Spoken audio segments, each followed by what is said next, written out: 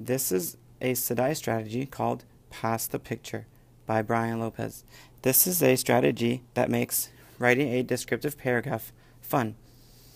Step 1. Each person in a group has a visual of a person, event, or topic. Step number 2.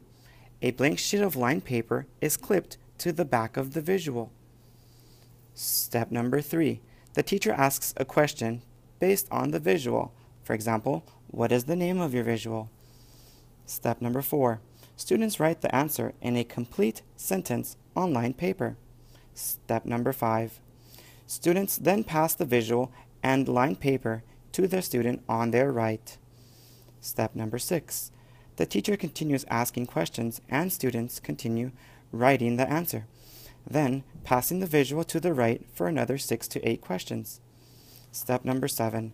At the end, each student will have a descriptive paragraph for each visual. Step number eight. Each student takes a visual and shares it with the group while reading the final paragraph descriptions. We're going to write a paragraph. So the first question I'm going to ask is, what is the name of the visual? So just answer in a complete sentence on the first line.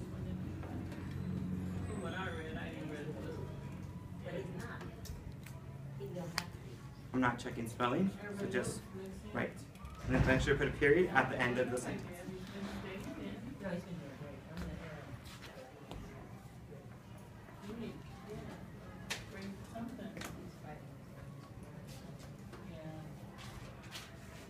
Now, put your visual on top of the paper and pass it to the right.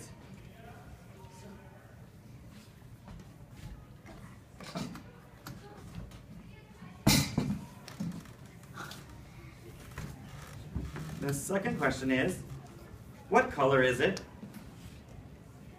If there's more than one color, write a couple of colors. The visual that you have, your new visual,